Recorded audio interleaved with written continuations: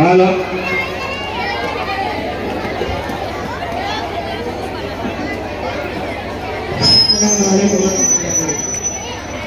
तोता तोता नज़र।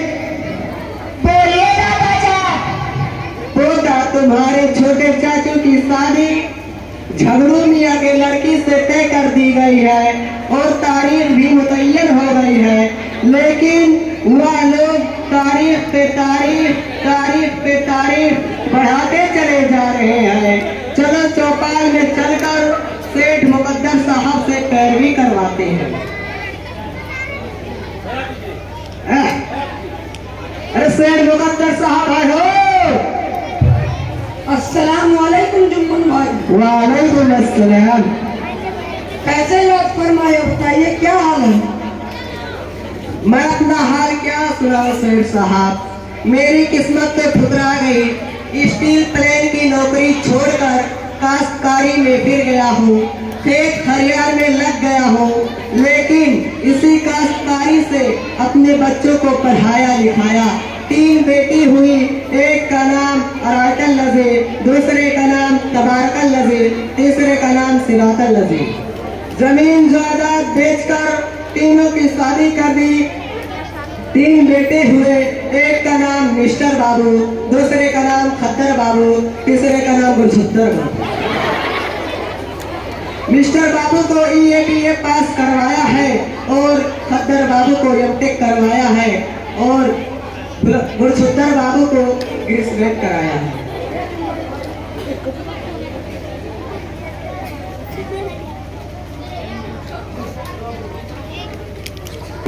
क्या है? किसी मोबिल का नाम है? क्या अरे मुकद्दर साहब आप सेठ बन गए हैं और आपको ये भी नहीं मालूम कि ग्रेजुएट एक प्राणी का नाम है। अच्छा आप ग्रेजुएशन बोल रहे हैं? हाँ हाँ वो कह रहे हैं ना कि गुरछुत्तर बाबू को ग्रेजुएट करा दिया। लेकिन जुम्मन भाई आप अपने बच्चे को इतना पढ़ाने लिखाने के बाद भी इस कदर फटीचर क्यों बने? आइए मौलाना साहब अस्सलाम वालेकुम वालेकुम अस्सलाम व रहमतुल्लाहि व बरकातहू कहिए सैयद मुकद्दर साहब मिजाज शरीफ खैरियत है जुम्मन जगह से मौला गुफ्तगू है कोई खास बात है क्या खास बात क्या होगी इमाम साहब यही इन भाई से एक महीने के बाद मुलाकात हुई लेकिन इनकी कहानी को देखकर मुझे बड़ा सदमा हो रहा मैं इनसे कह रहा था कि आप अपने बच्चे को इतना पढ़ाने, लिखाने के बाद भी इस कदर फटीचर क्यों बने? बोलिए जुम्मन भाई। क्या बताए सेठ साहब? बीवी तो मर गई, ज़मीन और जायदाद बेचकर बेटियों की शादी कर दी। सोचा था मिस्टर बाबू को ई ए बी ए पास करवाया है तो उनके शादी में तीन चार तीन चार लाख रुपए हाथ लग जाएँगे। और खद्दर बाबू को एम टेक करवाया है तो उनके शादी में भी छह सात लाख रुपए हाथ लग जाएँगे। लेकिन तीनों बेटों की साथ, लेकिन दोनों बेटों की शादी कर दोनों संधि जाली निकले किसी ने कुछ नहीं दिया। किसी ने कुछ नहीं दिया। और सबसे छोटा लड़का जो गुरशुद्र बाबू है, उसकी शादी मौजा बुरहवा ग्रांट में झगड़ू मिया की लड़की से तय कर दी गई है। लेकिन इस बार हमने बाजबता डिमांड किया है कि हमारा बेटा ग्रेजुएट की डिग्री वाला है। इसलिए आपको लोहे की अलमारी, सोने की अंगूठी अपाती फटफड़िया, दो हाउडी, दो ट्रक भूसा, दो भैंस और छह सात लाख रुपए देना होगा। लेकिन ये सब कुल तय होने के बाद लड़की वाला टगर मगर करता है। क्या वो टगर मगर कर रहा है? यानी टांग है उसका मोबाइल नंबर है दीजिए जरा। जी मोबाइल नंबर तो हमें याद नहीं। दादा जान दादा दादा हमको याद है लीजिए सर साहब अठहत्तर डबल ज़ीरो निन्यानवे डबल ज़ीरो निन्यानवे। आप झगड़ू मियाँ बोल रहे हैं? जी। झगड़ू मियाँ आप जहाँ भी हो मुझसे मुलाकात करो अभी जी ठीक है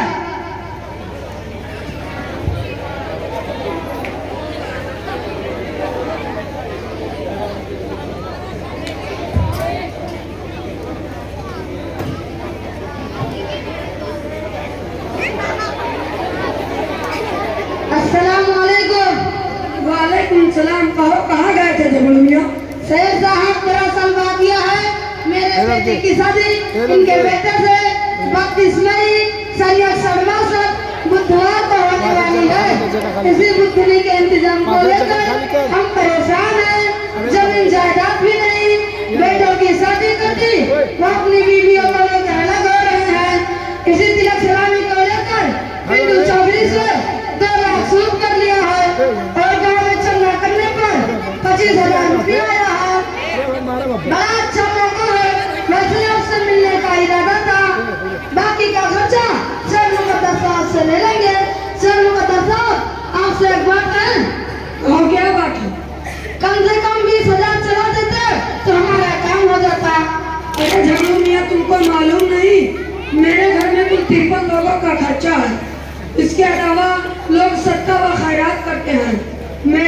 जाओ ये रस्म खत्म ही कर दो और जब जुम्मन भाई की फरमाइश पूरी करो। सौदा अच्छा रहेगा तो दाम भी अच्छा मिलेगा क्योंकि तुम्हारा होने वाला दामाद ग्रेजुएशन वाला। शेर साहब आप गुस्सा ना हो तो एक बात कहें। कहो क्या बात? वैसे तो आपके सामने जबान नहीं खोलनी चाहिए लेकिन छोटी बड़ी बात। वैसे लग रहा है आप जुम्मन चचा का बैल बिकवा रहे हैं। कुछ दलाली मिली है क्या? खामोश दो कौड़ी का आदमी नहीं भिखारी मेरे सामने जबान चलाता है। अरे रहने दीजिए सेठ साहब संधि जी को माफ़ कीजिए। अरे संधि साहब आप यहाँ से चले जाइए सेठ साहब बहुत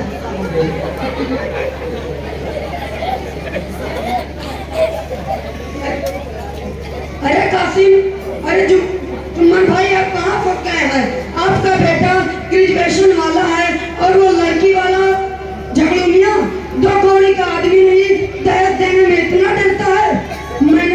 बेटी का शादी की है। लड़का मैट्रिक पास है, लेकिन बड़ा हैंडसम है। उसने माँगता, कुछ नहीं किया, लेकिन मैंने बहुत कुछ अपने बेटे को दिया है।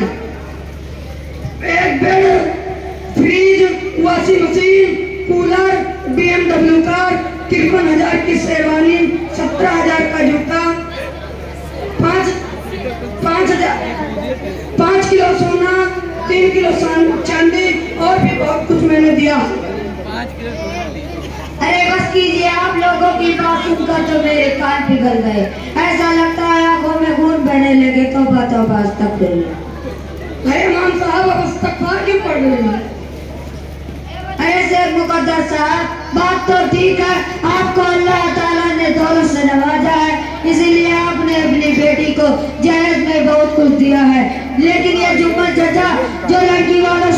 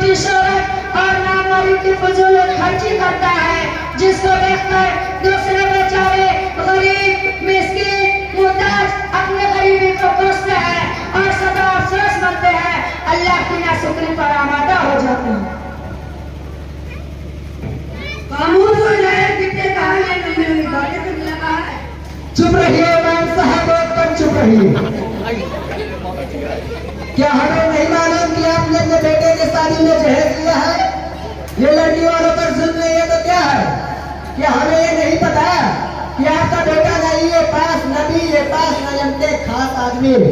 फिर भी आपने अपने बेटे के शादी में जहेज लिया है। दीवान ले आए सोफा सेट ले आए और वॉशिंग और फ्रीज मशीन की फरमाइश करके लड़की वालों पर ज़रूर ज़बरदस्त जुल्म किया अरे! ज़बरदस्त जुल्म किया है। और आपके बेटे को अपाची फटफटैया गाय भैंस नहीं दिया गया। तो लड़की वालों को रोज़ाना कॉल कर धमकाते हैं अरे जुम्मन चाचा हमने तिलक सलामी थोड़ा ही लिया है और लड़की वालों ने जहेज में दिया है। आप लोगों को क्या मालूम तिलक सलामी जहेज तो सुन्नत है। एकदम। जाइए जाइए जाकर हल जोतिए गोबर काटिए और घास काटिए एकदम चुप रहिए इमाम साहब। होश में रहकर बात कीजिए एकदम चुप रहिए। अगर आप हमारे मामले में होते अभी कान पकड़ कर भगा देते। अस्सलाम वालेकुम रहमतुल्लाहि व बरकातहू वालेकुम अस्सलाम वरहमतुल्लाहि वबरकातुहू खैरियत से है ना मौलाना खैरियत अल्हम्दुलिल्लाह सब ठीक है ये बेस मुबारक किससे चल रहा है कोई खास बात नहीं है ये जुम्मन चाचा अपने बेटे गुरचुद्दर बाबू और लड़की वालों से तिलक सलामी जहेज और बेजा मांग कर रहे ये इनको समझा रहे को खिसियानी के लिए खम्मा नोचे और कहने लगे कि आपने तो अपने बेटे की शादी में जायज़ लिया है। अगर हमने लिया है तो कौन सा गलत कर दिया? जायज़ तो सुन्नत है, सलामी लेना नाजायज है। बताइए ना इमाम साहब आपका मुतालाब कम है। तिलक सलामी और जहेज के मांग चांग करना बिल्कुल नाजायज है। जहेज एक लानत है, इसका बाईस खानदान सब तबाह बर्बाद हो रहे हैं। आपस में नफरत और दुश्मनी की बुनियादी बन रही है। मुस्लिम मुआसरे में तालीम की कमी ने शादी के जैसे आसान काम को आज दुश्मन बना दिया है। दरअसल आज का मौसम लानत की दहलीज बन गया है। जिसका खमियाजा हुआ कि बेटियों को भुगतना पड़ रहा है। बस औकात वालिदैन के पास बेटी को दहेज सामान देने की ताकत नहीं होती, जिसकी वजह से बेटियाँ खुदकुशी करने पर मजबूर हो जाती अरे अरे मौलाना साहब आप तो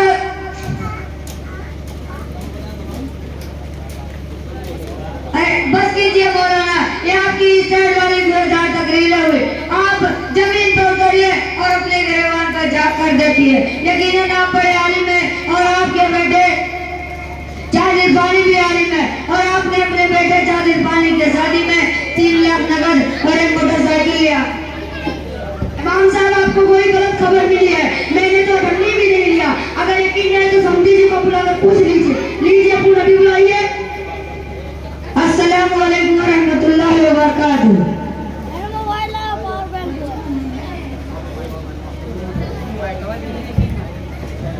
व रहमतुल्लाहि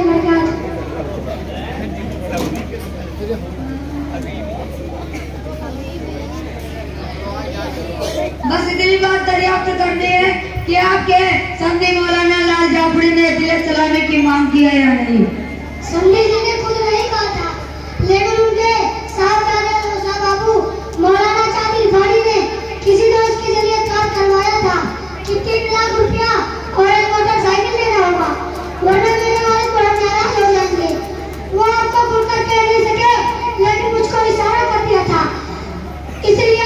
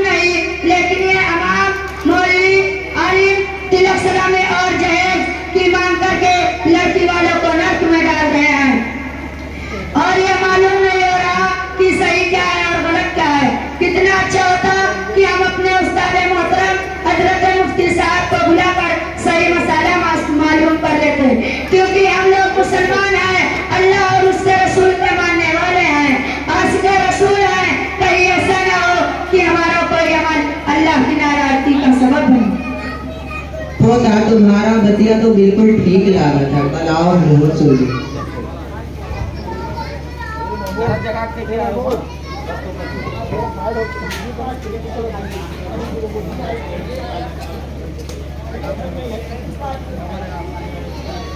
अस्सलाम वरहमतुल्लाहि वबरकातुहू। हज़रत मुफ्ती साहब मैं आपका साबिर नजीर बोल रहा हूँ। वालेकुम अस्सलाम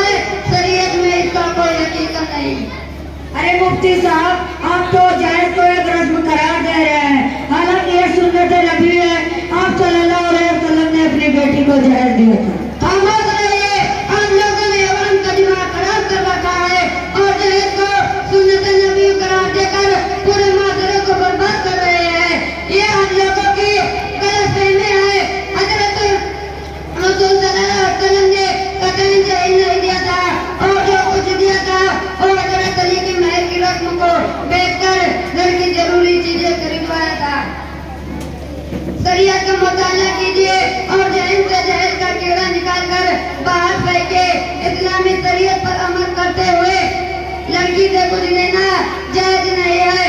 और शादियों को हर तरह से आसान बनाने का हुक्म दिया है।